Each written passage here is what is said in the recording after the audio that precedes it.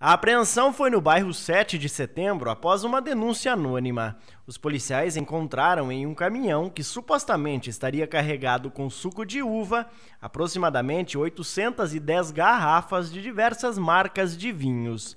A carga, avaliada em mais de 60 mil reais, foi entregue na Receita Federal para os procedimentos.